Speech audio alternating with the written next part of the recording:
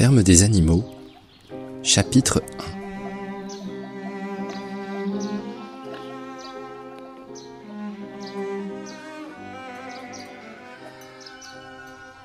1 Monsieur Martin, de la ferme du manoir, avait verrouillé les poulaillers pour la nuit, mais, trop ivre, avait oublié de fermer leurs trappes.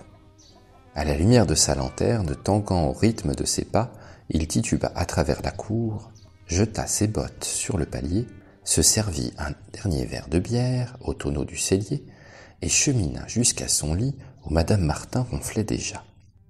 Dès que la lumière de la chambre fut éteinte, un frémissement parcourut les bâtiments de la ferme.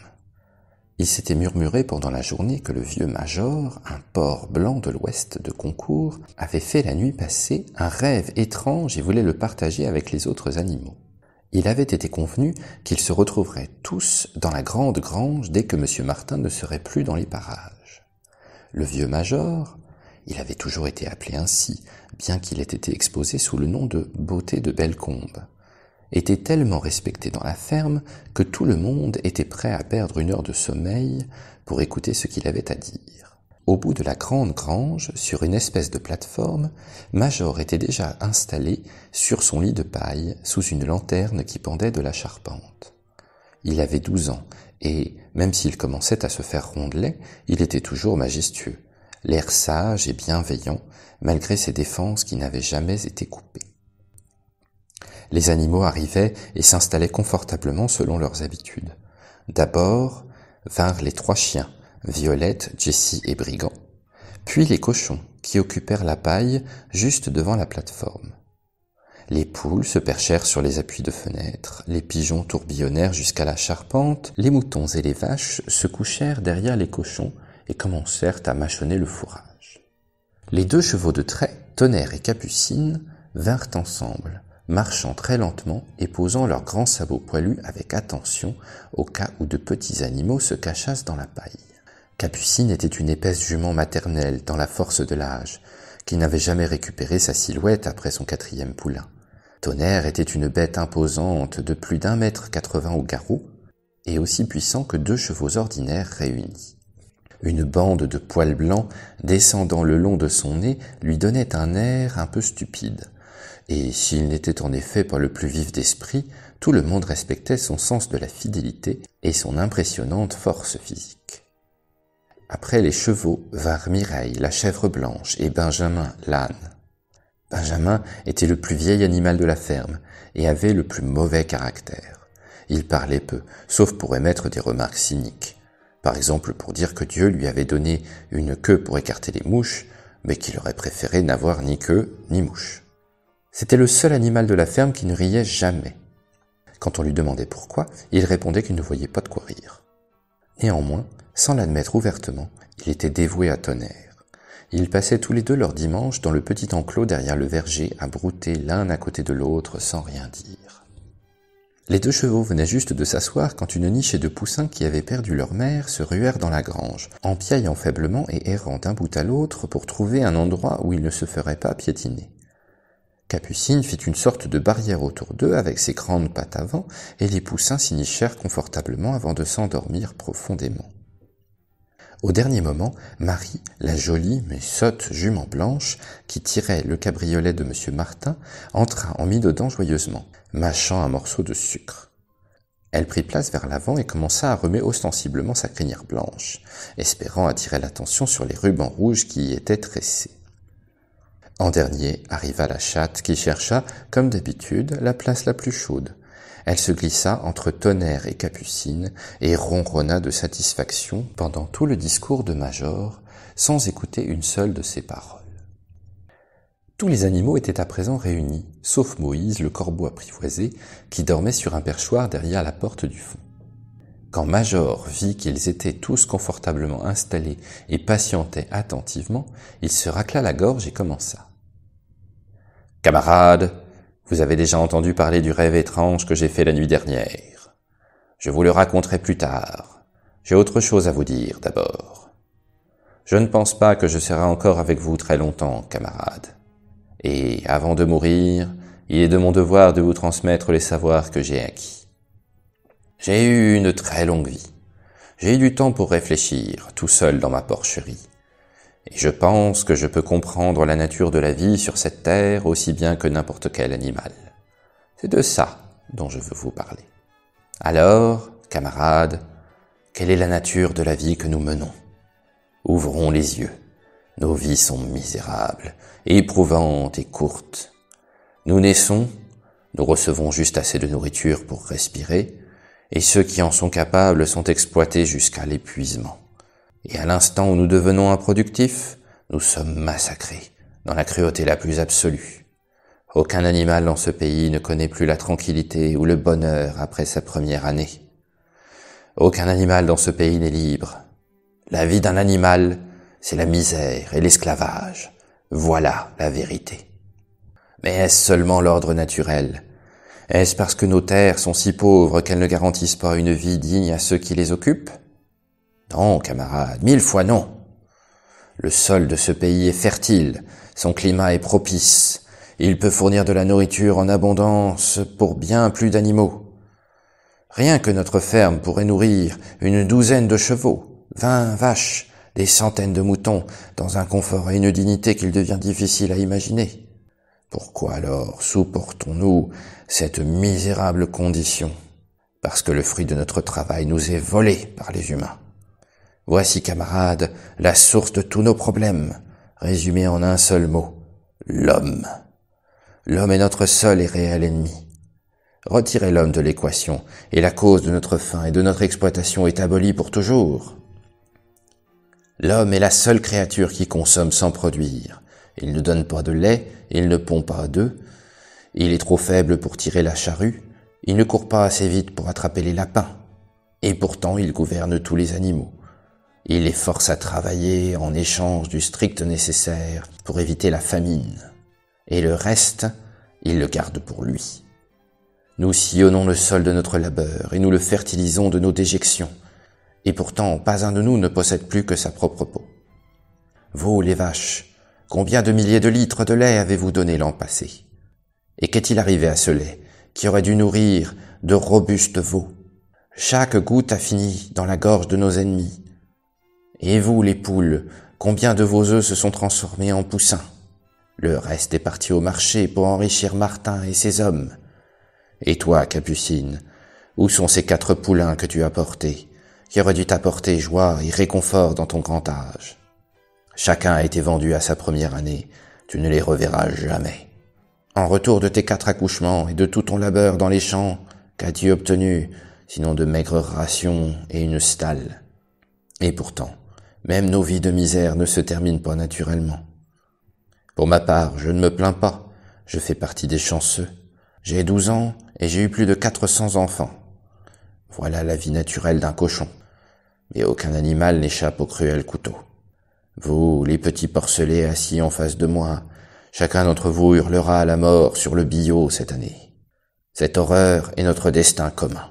Vaches, cochons, poules, moutons, nous y passerons tous, même les chevaux et les chiens n'ont pas un meilleur avenir.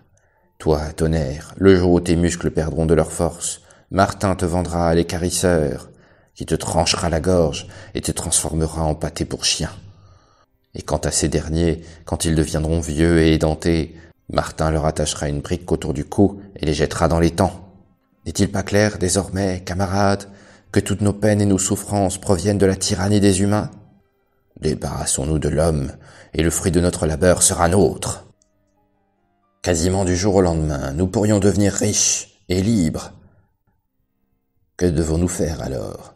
C'est simple, travailler nuit et jour, corps et âme, au renversement de la race humaine.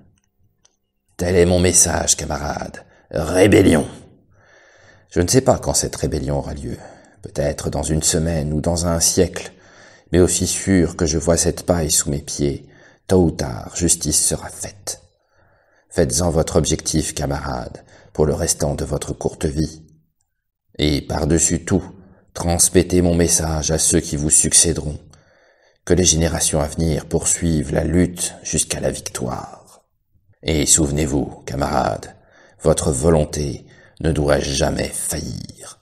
Aucune dispute ne doit vous disperser, N'écoutez jamais quand on vous dit que les humains et les animaux ont un intérêt commun, que la prospérité des uns et la prospérité des autres, ce sont des mensonges. L'homme ne sert les intérêts d'aucune autre créature que lui-même, et parmi nous doit régner une parfaite unité, une parfaite solidarité dans la lutte. Tous les hommes sont des ennemis, tous les animaux sont des camarades. Il y eut à ce moment un énorme tumulte. Pendant que Major parlait, quatre gros rats étaient sortis de leur trou et s'étaient assis pour l'écouter. Les chiens les avaient repérés, et ce ne fut que par un saut rapide dans leur trou que les rats avaient sauvé leur peau. Major leva sa patte pour obtenir le silence. Camarades, dit-il, voici un point qui doit être tranché. Les créatures sauvages, comme les rats et les lapins, sont-elles nos amis ou nos ennemis? Proposons-le au vote. Je soumets cette question à l'Assemblée. Les rats sont-ils des camarades? Le vote eut lieu, et il fut décidé à une écrasante majorité que les rats étaient des camarades. Il n'y eut que quatre contestataires, les trois chiens et la chatte, mais on découvrit, par la suite, que cette dernière avait voté dans les deux camps. Major continua. Je n'ai pas grand-chose à dire de plus. Je me répète, mais souvenez-vous toujours de votre devoir d'hostilité envers l'homme et son monde. Tout ce qui se dresse sur deux jambes est un ennemi. Tout ce qui se dresse sur quatre jambes ou a des ailes est un ami. Et rappelez-vous que dans notre lutte contre l'homme, nous ne devons pas lui ressembler. Même quand vous l'aurez vaincu, n'adoptez aucun de ses vices. Aucun animal ne doit habiter dans une maison, dormir dans un lit, porter des vêtements, boire de l'alcool, fumer du tabac, toucher de l'argent, faire du commerce. Toutes les mœurs de l'homme sont le mal, et par-dessus tout, aucun animal ne doit jamais exploiter un autre animal. Faible et fort, intelligent et simplet, nous sommes tous frères. Aucun animal ne doit tuer un autre animal. Tous les animaux sont égaux. Et maintenant, camarades, je vais vous parler de mon rêve de la nuit dernière.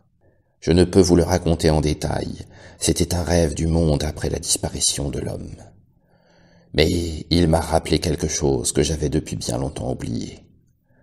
Il y a de nombreuses années, quand j'étais un jeune porcelet, ma mère et les autres truies fredonnaient une vieille chanson dont elles ne connaissaient que l'air et les trois premiers mots. Je connaissais cet air dans mon enfance, mais il m'était depuis bien longtemps sorti de la tête. Cette nuit, pourtant, non seulement il m'est revenu dans mon rêve, mais les paroles me sont revenues également.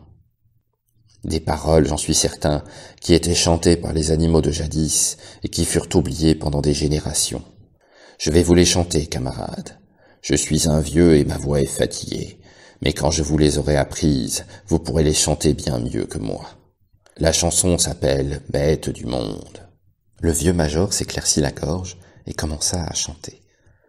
Comme il l'avait dit, sa voix était fatiguée, mais il chantait plutôt bien.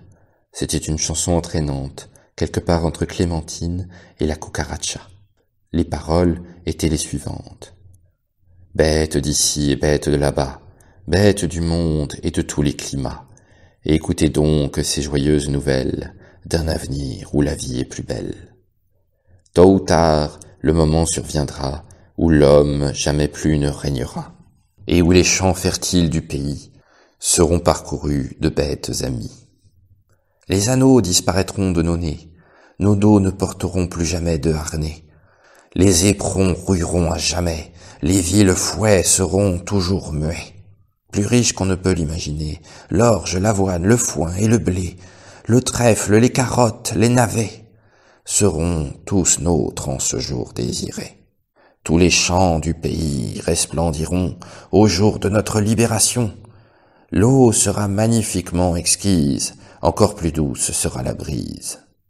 Pour ce futur, nous devons tous lutter, nous devrons œuvrer pour la liberté. Nous, vaches et chevaux, dindes et oies, même si tous nous ne le verrons pas. Bêtes d'ici et bêtes de là-bas, bêtes du monde et de tous les climats. Écoutez donc ces joyeuses nouvelles d'un avenir où la vie est plus belle.